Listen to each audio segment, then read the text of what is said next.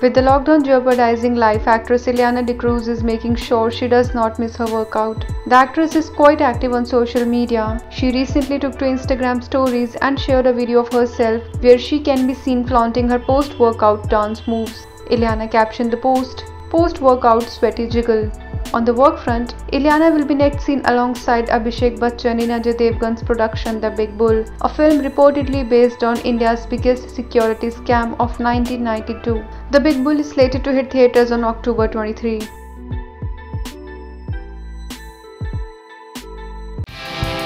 Subscribe to our channel. Just click on the bell icon for all the latest updates.